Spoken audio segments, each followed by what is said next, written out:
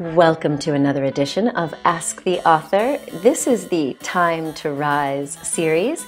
And with me today is Dr. Juicy Jill Stocker. She is hailing in from Hollywood, California. Jill, it's great to have you. It's great to be here. Thank you for having me. Congratulations on being a contributing author to Time to Rise. This is pretty momentous. I am beyond excited, but I think you I think you understand. yes, I do, and I think um, what you have shared is so profound. It's so um, honest and vulnerable. I I just can't wait for our conversation because. Oh, we already have so much in common, and we're going through so many interesting similarities in our life. And I think a lot of people can relate to it. Um, but let's just start things off on a whole different note. Because one of the things that we do have in common is that we both kind of grew up as the little Miss Goody Two Shoes, you know, following that path, trying to do everything right, you know, ticking off all the boxes. And you, you know, went to university, you graduated with honors, you went off to medical school, and you really followed that typical pattern that most people think about. You know, you get the marriage and the career and the kids but in your own words, you said that you really found your true passion and your actual voice after all of that. So let's just kind of kick it off there, if we could. Yeah, yeah. Um, wow, I could probably talk for days, as you know, about this. Once you've like opened me up, I can talk for days. Uh, but well, that's one of the things is I was so shut down. I didn't talk for so long and I didn't share any of these things. And I actually hated public speaking and I would get super nervous and and now I just want to like shout from the rooftops like, any chance I get talk. So yeah, well, that was one of the things that I found really interesting because you said that when you saw, um, I think one of my videos where I was talking about my experience with depression, and you said, wow, a doctor who's willing to just be so open and vulnerable. Because you said that, like me, you used to just feel like you needed to be perfectly poised and put together so that your patients would see that, you know, you were credible and you had everything, you know, figured out, right? Absolutely. I actually, I, I remember the first time I saw you on uh, a Facebook Live, and it was, I think it was like in February of, of this year. Um, it seems like it's been so much longer than that. Uh, and I remember I was kind of doing my morning routine, morning coffee, trying to figure out, you know, what I'm what I'm doing, what my dream is, what my my passion is. And I watched you, and I was just like, wow, I can't believe she's talking about this stuff. And I just I felt like you know, I you had crawled into my body and and talk, we're talking the same feelings that I had had, and I and I even caught you know one of your episodes where you were crying a little bit, and I never used to cry, and I never was really able to. I was so shut down because I thought that was weakness, mm. and I heard you sharing your vulnerability and what you'd gone through and actually shedding some tears. I never once thought, oh, she's weak. I thought, wow, she is super courageous hmm. to do that. And I felt like you really unlocked my own prison. And it's just been like an amazing ride.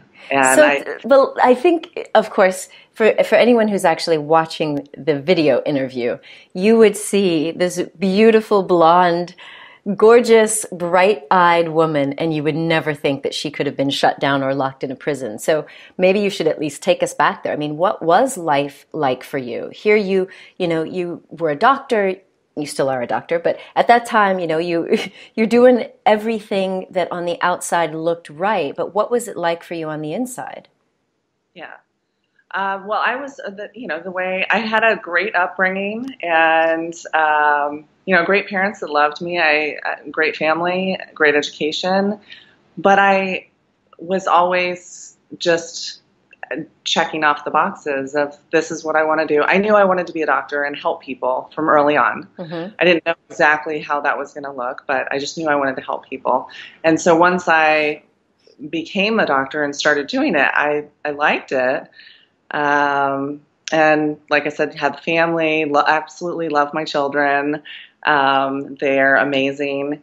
But after, actually, after my last child, I did have postpartum depression. And that was something I just absolutely didn't talk about at mm. all. I didn't realize that several of my other friends had gone through it, but they ne- they just never talked about it either. Mm. And so once I started sharing, they kind of opened up. And around that same time, I started seeing patients in my own practice that I hadn't seen for a while, and they were completely transformed. They had a lot of energy. Um, they had lost weight. They just they felt better. They had the sparkle in their eye. Yeah. And I was like, "What are you doing?" And I said, "Well, we're seeing this hormone doctor." And I thought, well, what is this stuff? Because in, in medical school, we don't, you know, we learned traditional medicine. We didn't learn anything about the newer bioidentical hormone replacement therapy. Right. So I started studying that and thought, this is amazing. And I became one of my first patients um, because all my numbers looked perfect but I was tired all the time. I figured I was working full time. I had three kids. My hair was falling out. Um, and I was just kind of going through the motions of like, okay, it's supposed to be this way. Yeah. And uh, fortunately, I met a mentor that uh, said, "No, you, you're there's something wrong with your thyroid." like I said, my, my numbers were perfect, and the first day that I took that thyroid medicine, I literally felt like I woke up. Yeah. And didn't realize I was in a fog until I hadn't been in a fog. And um, ever since then, I feel like that was kind of the start of my awakening. Uh, my that was kind of the missing puzzle piece. I had all these other things, but my hormones weren't optimized. And once I started doing that, it made me be able to just wake up and actually it was like this rumbling inside. I could feel like I'm not sure. I did all these things. I followed, you know, the that path, but I think there's something else that I want to do. Wow. And, well, I want to get into that. I want to explore the that feeling that you start to feel when you're coming back alive because um, well, yeah, that's all the juicy stuff. But first, I, I, want I want to give some context here. So when you say your numbers, so we're talking about you went to the doctors, you're getting sort of the the hormone panel, the checkup, and I know that definitely when I graduated from medical school, you know, we kind of look at the numbers in a book or on the computer, and it's basically a bell curve distribution, right? Like people are generally feeling okay if their numbers are in a certain range. But now, what we're learning with age management medicine is you might be what's considered low normal, but you the way it feels inside is like completely out of whack. And so those those symptoms that you were talking about, like the fatigue and the weight gain, and just kind of feeling like life was flatlined, it was was um, thyroid the only hormone that you needed just a little tweak of? No, that was just the beginning. The next one was testosterone, and that that is a game changer for for myself and for women in general. I would love it if you'd share some some insights on that because I think a lot of women think, "Oh no, testosterone that's only for for men or it's for those women who want to bulk up."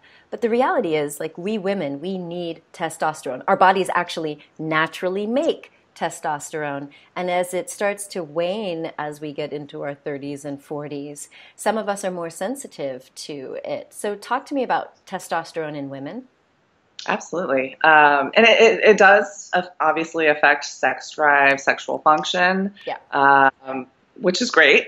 And that was one of the reasons that I went on it is because I didn't have any sex drive. But I noticed once I got on it, my confidence level uh, went up. Mm. My just my overall sense of well-being. I, I, literally just kept waking up more and more with each edition, and um, it, you know, the results at the gym. I was, you know, running and lifting weights, but not necessarily having the same muscle tone, um, and that significantly changed within like one to two weeks. I noticed a difference because when we don't have testosterone, we actually start getting that little muffin top and which we so love.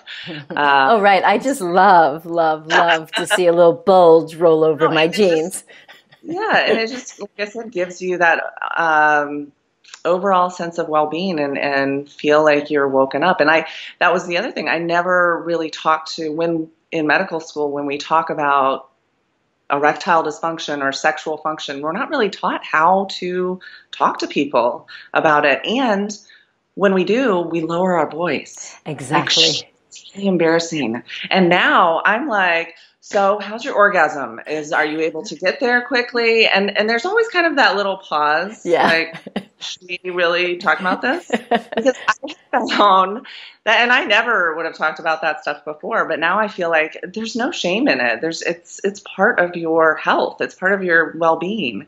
And the more comfortable I am talking about it with people and the more excited I am about it, the more it gives them permission to talk yeah. about it. Similar to when you were talking about your depression and challenges and everything. It sharing all of that just gives people permission to talk about it. And, you know, one of my things is I help women and men, because I actually see men too, um, reclaim their juiciness. Yes. And it's funny because people at first, haha, juiciness, you know, because it's an overall different meaning, um, can have multiple meanings. But I have mostly women that, that will use the word. Once I get them optimized, they kind of get a little bit of a sparkle in their eye and they're yeah. like. Phil, I'm kind of feeling juicy. And it's so exciting to see that. Um, and so that's where testosterone can really be a game changer uh, for women. Yeah. That, you know, I had the exact same experience when I got trained in age management medicine, you know, going through the training and all of that, it was like, oh, okay. When we think of anti aging, we think of like the brain, like we don't want to get Alzheimer's, we don't want cancer and diabetes or heart disease. But if you really think about if you were optimizing, you want to maintain your health span, your overall vitality. And of course, you want that in the bedroom or, you know, on the kitchen table or wherever you, you get your groove on. but that was the, that was a shift for me as well because going through that training and certification it was like oh okay now we're having these conversations about intimacy that i never had before. And you know inviting people to open up like okay everything else is is looking good. How are things down there? How are things between you and your partner? And it was it was it was a game changer um, because then i was able to say okay if you're not feeling sexual, if you're not feeling that sense of arousal or desire or that juiciness or the ability to experience orgasm, then we need to talk about that. We need to look at, yes, the hormones, but other interpersonal aspects. So I hear you. Once you start having the conversation, it sets people free and it's totally natural. Like we're meant to enjoy a, a vibrant sex life all the way into our seventh or eighth decade of life. Absolutely. So, what led you then? So you were you were doing um, family practice, right? And then you got your certification as well. You went through this training in age management medicine, and because once your lights were turned on, I guess you wanted to turn on everybody else's lights, yeah? Absolutely, absolutely. I just I will be your biggest cheerleader if you're involved. If you're, you know, it's a team effort, and I I was finding that with traditional family practice it just was it was not there. People didn't really have um, the desire um, to to get better, and and I still wanted to help them, um, but I felt like it was kind of my energy was not going in the right direction. And it's actually today is one year to the day that I closed my practice. Uh, wow. that door on kind of the old traditional practice and took the leap into only this this type of practice. And it's just been amazing. And it's not just the the go ahead. It's not just what? It's not just the you know the hormonal changes. It's I, I have that really helped to awaken me to all sorts of possibilities of of what I do. And um, I think I had talked to you before about I felt that once I started having this rumbling and awakening when I was talking this old script to patients and not really sharing myself, it mm. didn't feel like me and it didn't feel comfortable. Well, that's exactly where I would love to pick it up because this journey that you're on, I, have had the, the pleasure of watching it unfold and watching you blossom over the last, I don't know, six months or so. So when we get back from the break, I'd love to hear about where those rumblings have taken you since. And yeah, I think people might be surprised. So when we get back, let's pick it up there. Okay, thank you. Tune in daily to get fired up with insight and inspiration for purposeful living, conscious relationships, and soulful success. You're watching Liberate Your Authentic Self with me, Dr. Andrea Pennington. Check out the live version of this show where I answer your questions in real time. Visit facebook.com forward slash Dr. Andrea Pennington. You're watching Liberate Your Authentic Self with me, Dr. Andrea Pennington. Check me out on Instagram at Dr. Andrea Pennington. And now, back to the show. So, what happens when you followed the script? You've done everything that society and your family tells you is the right thing to do, and you wake up starting to have these little rumblings, these tinglings that are telling you that there's probably more to your life than what you're seeing. Well, my guest, Dr. Juicy Jill Stocker, she is a contributing author in this book, Time to Rise. And Jill, thank you so much for sharing so openly about your experience waking up. Now, I've said this before. If we just look at you, you look bright and bubbly and you look fully awakened. But this has actually been a process for you of learning to be vulnerable with your patients, with your family, with us on, you know, social media. So talk to me a little bit about the rumblings that you started to feel even in your medical practice. Okay, thank you. Um, well, I just I kind of want to back up just a little bit when you, you, keep mentioning this this light in in your eyes. I actually had a really good friend of mine a couple years ago when I was going through that that process uh, mentioned to me I I see sadness in your eyes. Everything looked fine. Everything looked perfect. Nobody knew anything that was going on but I had sadness there. And that was part of the, the awakening like, oh, somebody really sees me. Yeah. And so that's now actually one of the things that I talk to my clients about is like, what is your what is your dream? What is your passion? I want to get that, you know, and and it's not the typical doctor question. People are like what's your you know past medical history? What surgeries? And when somebody comes to see me i say tell me your story. And i find out i get all the information i need but then i ask them what is your dream because when i first made the transition to close the practice in traditional medicine and just go all in in this direction I was super excited about it, but I also was kind of in survival mode of just getting, you know, checking the boxes, getting everything squared away, moving. And I just remember thinking to myself, what is my dream? And I, I actually didn't even know my dream. And that was a year ago that I, I didn't know. And that's when I was getting the rumblings. I knew I was headed in the right direction. So I um, came to Southern California and um, joined the practice and have been doing that. And, and, then I had a little bit of quiet time um, because you have to build up your practice. And with that quiet time, I used it to really dive into meditation, hot yoga, really getting to know myself, uh, which is uncomfortable. Yeah. it's yeah. uncomfortable. Um, but that was where I began to see this is what I'm meant to do. And I started sharing my experiences with my clients, like little by little, because I didn't want to. When I first started uh, as a doctor, I was 25 and a female and not taken very seriously. So to share any part of myself, personal part, like with the depression or even the postpartum depression, I would I felt like I would just not have any credibility then.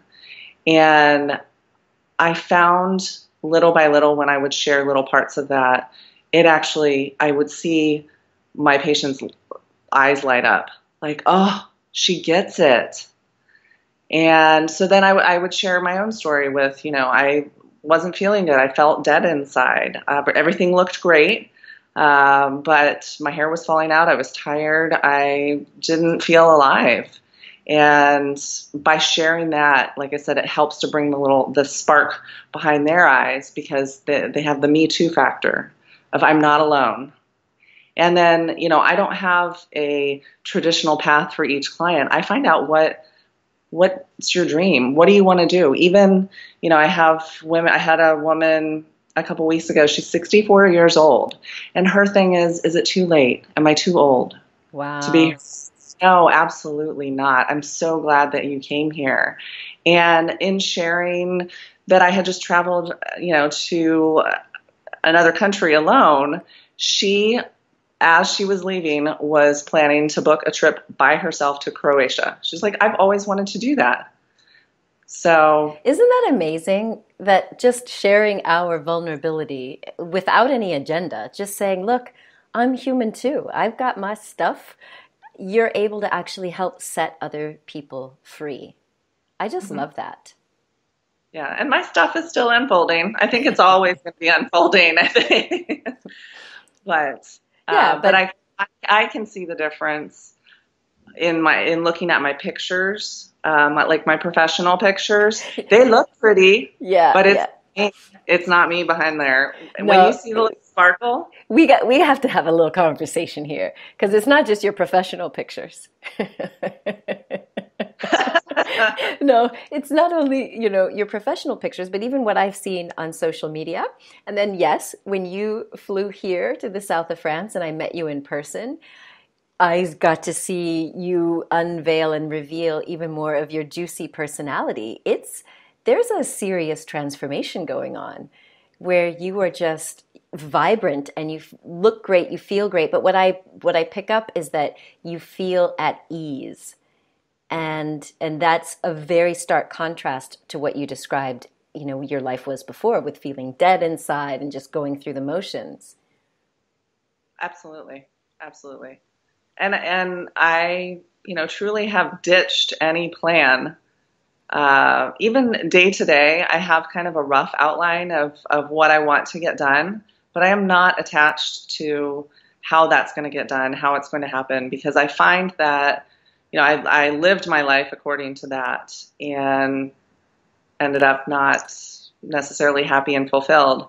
And when I do this, you open the door to be truly amazed at the possibilities. There's things that I, I never thought that I was going to be writing a book, uh, flying over to Europe, speaking, um, and now I've done that, and it's such an amazing feeling. And it's like I'm discovering myself and my my true self. That's kind of gotten covered with academia and you know um, society standards and everything.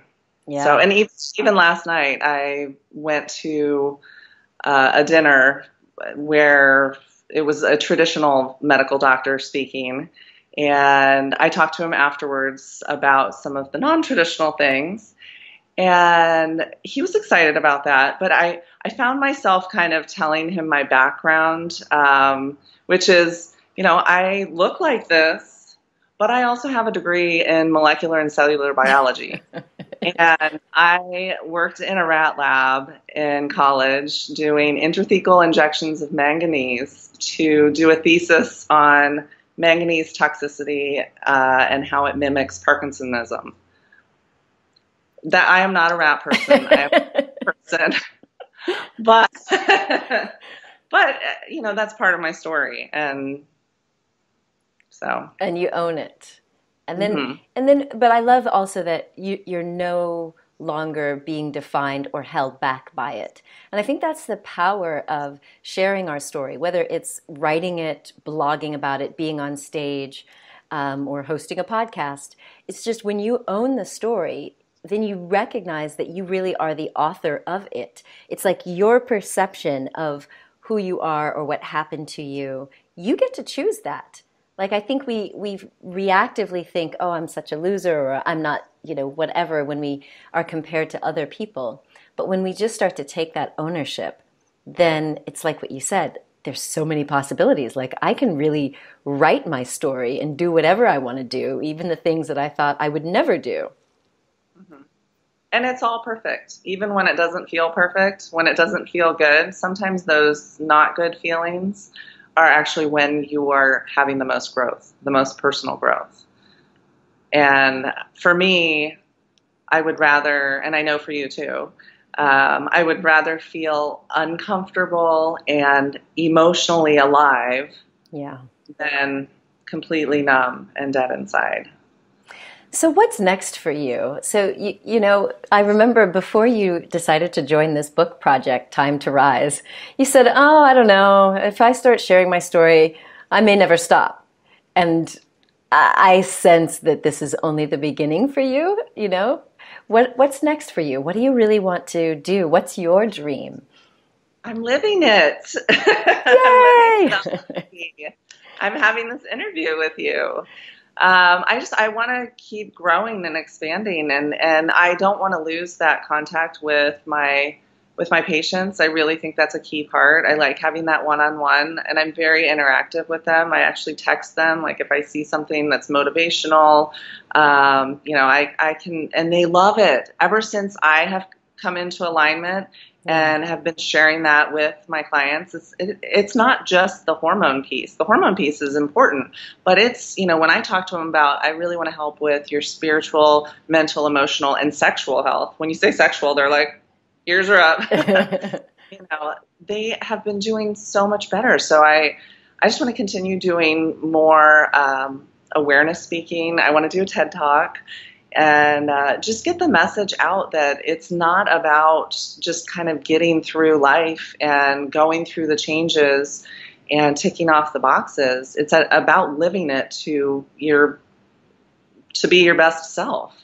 Um, I you know I I kind of want to also bridge the gap between the generations because I went through a time where my when my mom went through the change it just wasn't treated. It was treated with antidepressants.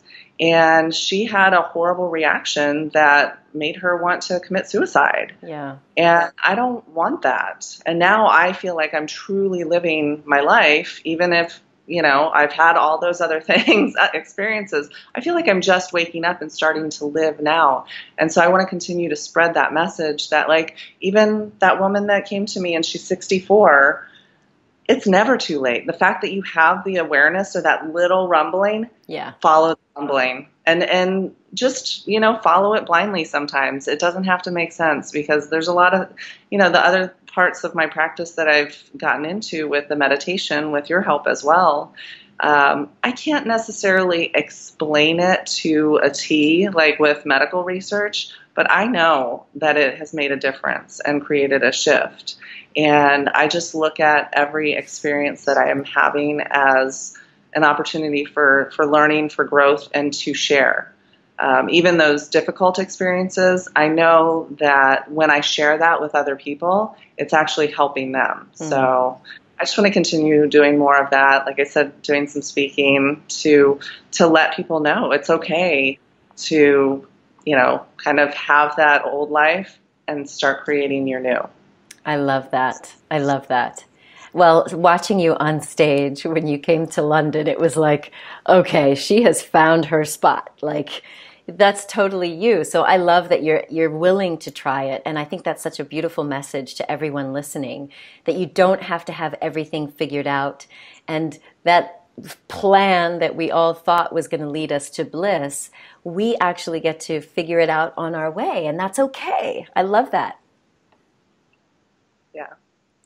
Well, if anyone would like to get in contact with Dr. Juicy Jill, you can check her out online, jillstocker.com, and sign up for her newsletter. And you can stick around here as well because Jill has agreed to come back on the show um, to talk about other good goodnesses. So if you have questions, you can send me an email to Dr. Andrea at uh, americaoutloud.com and let me know what questions you have for the juicy Jill. Well, Jill, I am so excited to share this book. I can't wait for the world to read your story about bridging the gap between the generations in Time to Rise. Any last parting words? I just, I'm so thankful for you for sharing your story and allowing me to share mine and continue the the gift. Yeah, it is a gift. You are truly a gift in my life as well. So I thank you for that. I love our connection and I love seeing that you're just coming out with more and more and more. It's it's really inspiring. So I hope everyone takes that message here that it's never too late at any point in your life to find yourself and to reinvent your life. So check out the book Time to Rise check out Juicy Jill at jillstocker.com.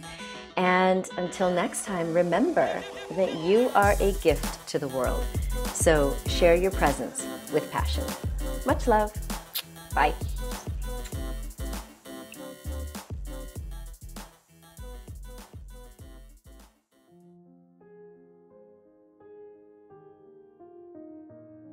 How do you pick yourself up when life knocks you down?